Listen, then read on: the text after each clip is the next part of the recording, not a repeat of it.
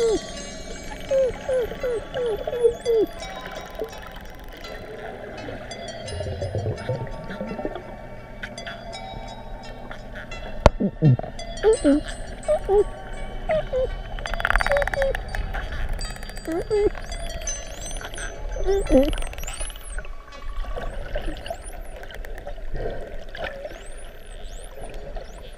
In the 30 years that I have been encountering dolphins in the wild, perhaps the most remarkable dolphin is a young adult spotted Atlantic dolphin in the Bahamas.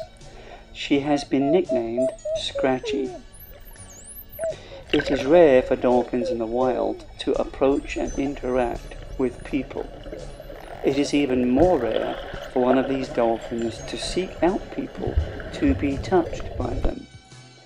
Here she is mischievously blowing bubbles underneath the belly of another dolphin.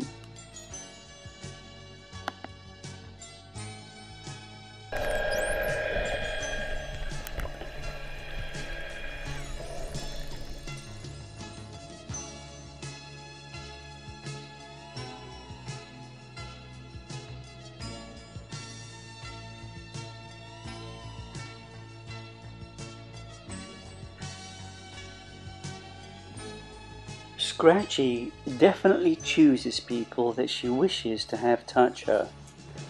She will stop swimming, roll over on her back, and present her belly, leaning backwards, expecting to have her belly, chest, and chin rubbed. After a while, she will turn over to have her back scratched. I am one of the lucky ones she chooses.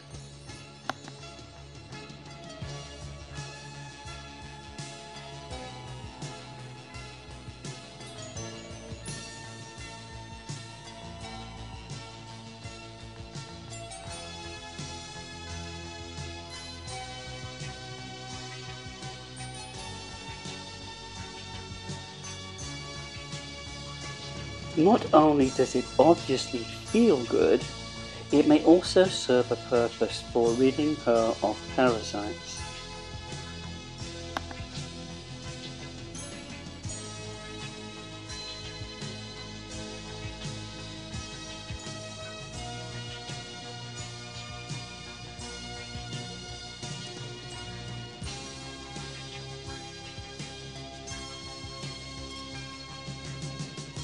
The other dolphins observe her behavior with as much amazement as we do, but they choose to engage us in exhausting games of play or gliding relaxed next to us in a state of mutual meditation.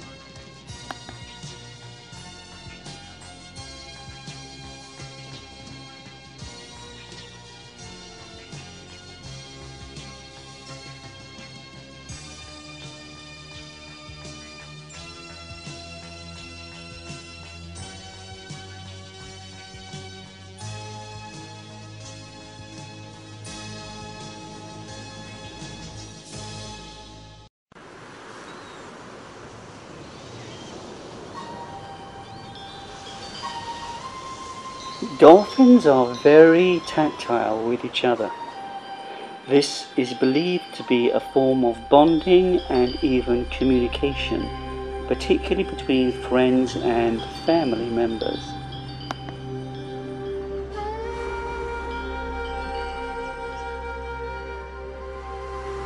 Incredibly, Scratchy had recognized me within seconds of my jumping into the ocean, even though I hadn't seen her for two years. Within 10 seconds, she was behind me, tapping me on the shoulder and going into her usual games. She would swim from one of her chosen masseurs to another. However, if I showed too much interest in any other dolphin, she would swim up behind me and nudge my hand until I focused back on her.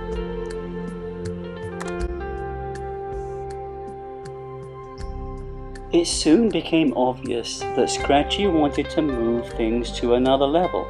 Instead of just receiving from hands, she decided hands and arms were very interesting, and she wanted to do something more with them.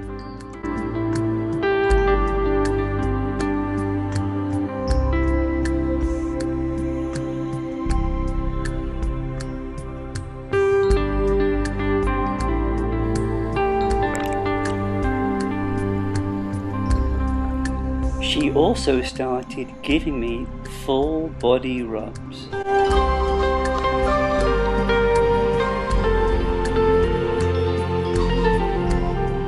The culmination of this was she actually started towing the dive master or myself through the water by our hands or arms. Not as a captive dolphin forced to perform tricks to receive food, but as a wild dolphin in the vast ocean, developing her own ways of connecting with us.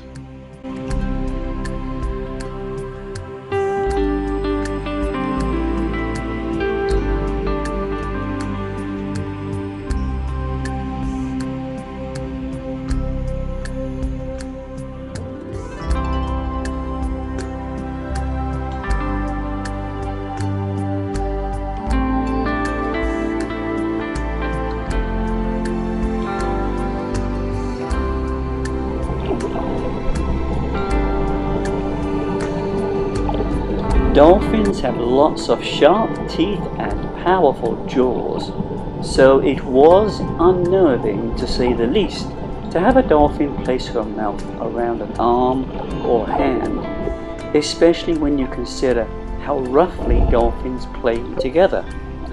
Amazingly, she was so gentle there was no mark nor discomfort.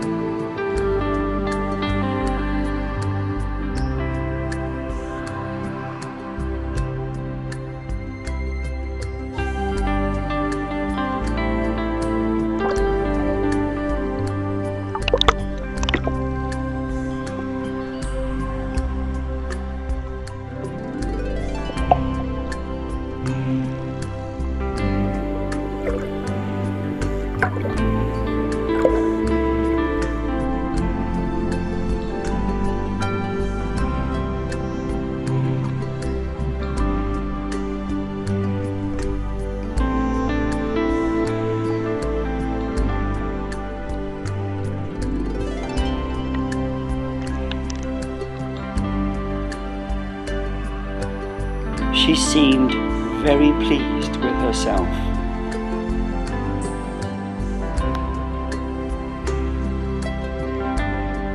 While I was astonished.